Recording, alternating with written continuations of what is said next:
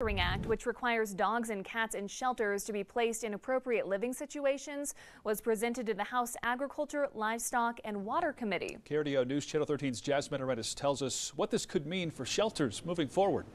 This day forward, when if this passes, the only option, the only outcome for a healthy or safe animal will be a placement. This House bill will require each animal shelter and pet animal rescue in Colorado to provide standard care for each dog and cat in its custody, including basic medical and behavioral needs. If you look at it and think, well, what is this really going to do?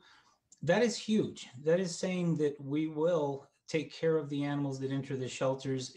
If we don't have the resources to, for to meet the best needs of that pet, we'll work with our partners and we'll transfer. It's really an act that would allow shelters across the state to lean on each other, requiring the shelter to only dispose of the cat or dog through adoptions or transferring them to another shelter, as long as the pet does not exhibit signs of an illness or injuries. This is really just about the shelters and rescues in Colorado standing up together saying this is a commitment we're going to make. So, um, yeah, there has been references to the fact that this is it's either a no-kill bill or it's an anti-no-kill bill, and and it's it's neither. It has nothing to do with that. Dwayne Adams, president of the Humane Society of Pikes Peak Region, also says this bill shouldn't stop shelters or rescues from performing their basic needs. It is never meant or should limit or preclude any shelter from doing other life-saving efforts that ex- far exceed what is outlined in this bill.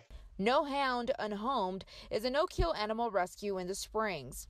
They happen to agree with the passing of this bill, saying, quote, I think it sounds like a good idea. It will save a good number of dogs, while those opposed to the bill believe it can do more harm than good.